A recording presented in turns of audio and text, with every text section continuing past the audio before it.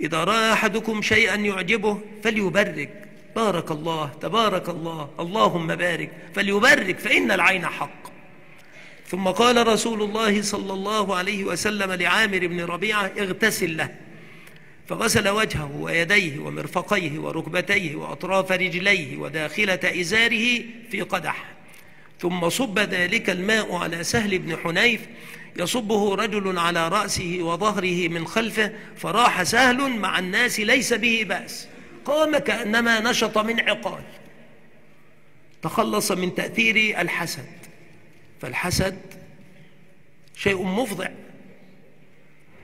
وما أكثر الكفاءات التي دمرت بسبب الأعين الغادرة الحاسدة والنفوس المريضة الفاجرة. التي لا ترقب في مؤمن إلا ولا ذمة. يكون الرجل على السوية متميزا فما هو إلا أن تقع عليه عين حاسد فيكون ما قال النبي المأمون صلى الله عليه وآله وسلم العين حق تدخل الرجل القبر وتدخل الجمل القدر. يصيبه بقذيفة أرض أرض تقع منه في مقتل. سرع لبط. تجد ولدك يؤتيه الله تبارك وتعالى ذاكرة صماء لاقطة فمهما سمع من شيء طبع على صفحة قلب. وأنت رجل طيب لا تحصن ولا تبالي. وتفرح. الولد حمل القرآن كله. تعال يا ولد سمع لعمك. وما هو بعمه وما هو إلا أن يسمعه حتى يعينه. فتجده بعد ذلك من كبار الفاشلين. نسأل الله العافية. وما خلى جسد من حسد ولكن الكريم يخفيه واللئيم يبديه. والناس فيه في أمر مريج لأنهم لا يعرفون حقيقته. إمامهم إبليس فهو إمام الحاسدين وأول من حسد حسد آدم. لما كرمه الله وفضله وأمر الملائكة وأمر بالسجود له فحسده. قال أنا خير منه. خلقتني من نار وخلقته من طين. استكبر وحسده. وقال أسجد لمن خلقت طينا. فكان مآله ما هو معلوم. فإمام الحاسدين وشيخ كل حاسد شيخه الأكبر إبليس اللعين. ثم بعد ذلك شياطين الإنس من اليهود. فهم أشد الناس حسدا.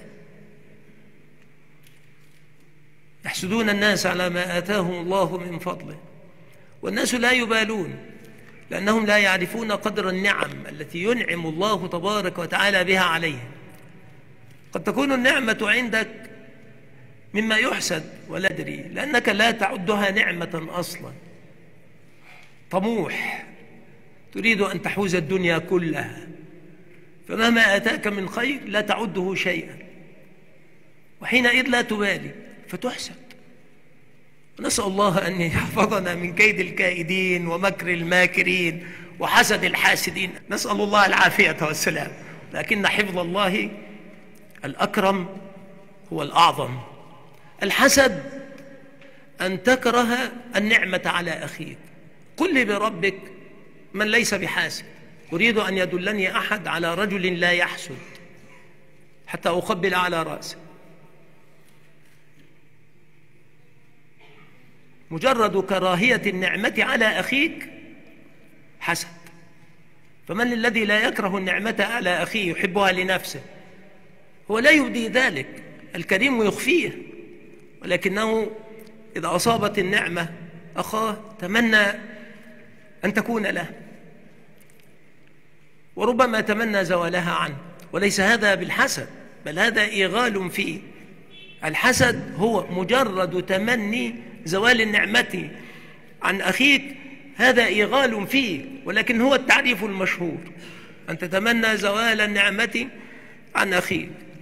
ولو أن تصل إلى كافر ولو لم تصل إليه.